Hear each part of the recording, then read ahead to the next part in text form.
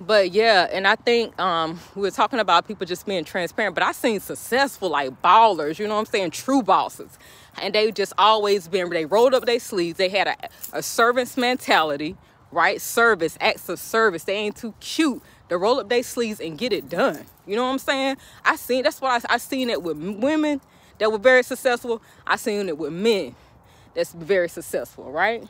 not only did they have the, the PhDs, they know how to get a, a boat, hook it up to the truck, like know how to do all the stuff, like man, man stuff, right? Um, like so that's my thing. Or being a woman, yes, she dressed to the nines, but she can dress down and humble herself and do whatever need to be done. You know what I'm saying?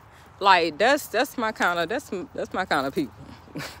really, that's my kind of people. Like, do you got a an acts of service mentality, right? Because that's what the greats have.